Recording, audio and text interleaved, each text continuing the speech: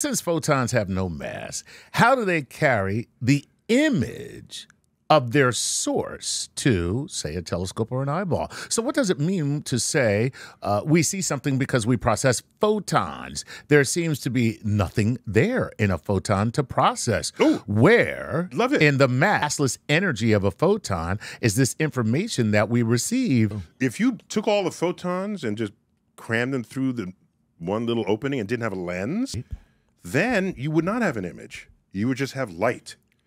That's what we do when we take a spectrum of an object. Uh-huh. We take all the light, funnel it down into what's called a slit, goes through the prism or equivalent device, and you see how much energy, how many photons of different wavelengths is coming from that source. It's mm. not an image at all. It's not an image. You don't know what the thing looks like. Right. But you have this many that are red, this many blue photons. This has extra photons in a particular place because an atom is sending you energy ex- extra in that zone. And you just look at the spectrum, and that is a no image measurement of the object.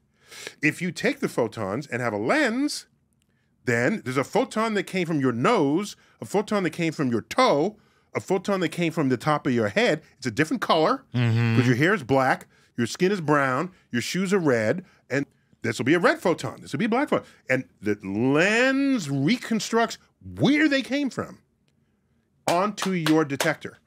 You focus it up, the photon lands exactly according to what the image was.